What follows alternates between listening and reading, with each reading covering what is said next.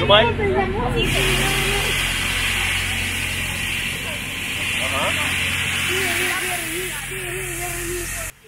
Почувствовать себя пожарным мог каждый. Зрители областного этапа КВН на противопожарную тематику, который прошел в Центре творческого развития и гуманитарного образования «Романтик», узнали, как устроены пожарные машины. С помощью огнетушителей поиграли в крестики-нолики, учились надевать спецодежду пожарных и оказывать первую помощь, ознакомились с аварийно-спасательным оборудованием.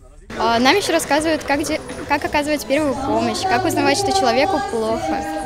Нам рассказывают очень много интересного. Мы знакомимся с пожарными. А пожарные с удовольствием знакомились с детьми и делились интересными фактами.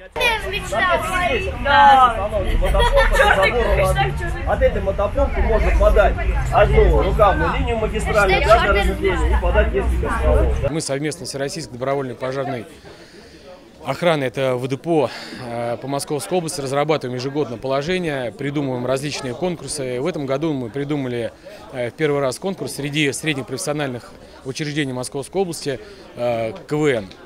Для участия в КВН приехали команды из четырех округов Московской области, ставшие победителями на муниципальном этапе конкурса. Основная задача участников в шуточной форме – рассказать о требованиях пожарной безопасности. Такие мероприятия в основном мы раз в квартал проводим с детьми на территории нашего городского округа, нами, сотрудниками отдела, совместно с администрацией. А также организована работа среди школьников, детских садов. Мы стараемся ежемесячно выходить, показывать фильмы, и через игровые программы доносить детям требования пожарной безопасности. Потому что огонь легче предупредить, чем потушить. Поэтому пропаганда пожарного дела у нас на первом месте.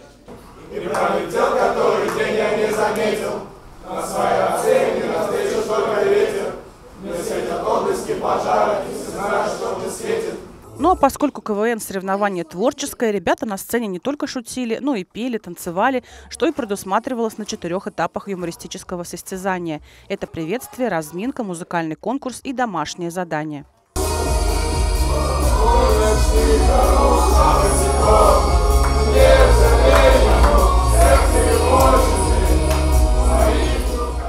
Победителем стала команда «Гаси туши» из Богородского городского округа.